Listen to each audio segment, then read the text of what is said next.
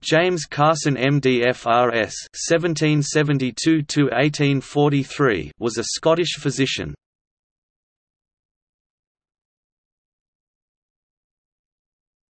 Topic: Life.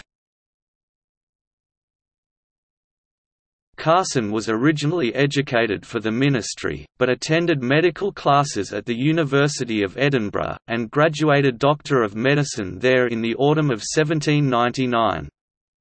He then moved to Liverpool, where he remained for most of his professional career. In 1808, Carson came prominently before the public with the case of Charles Angus, a Liverpool chemist, charged with the murder of Margaret Burns, and alleged poisoning.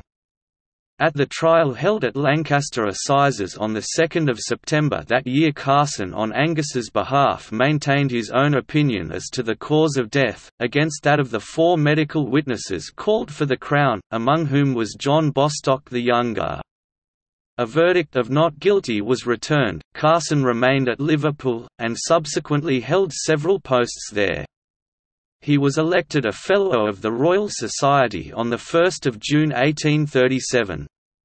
He died at Sutton, St Helens, 12 August 1843.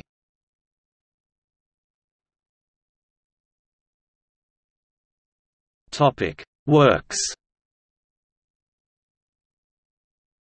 Carson's inaugural essay at Edinburgh was De Viribus Quibus Sanguis Circumvehitur 1799.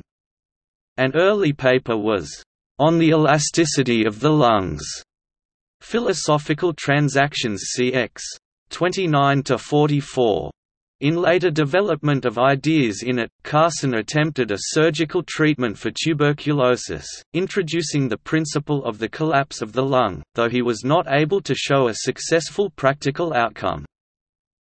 Some angry pamphleteering followed the Angus case, and Carson defended himself in remarks on a late publication entitled, A Vindication of the Opinions Delivered in Evidence by the Medical Witnesses for the Crown on a Late Trial at Lancaster.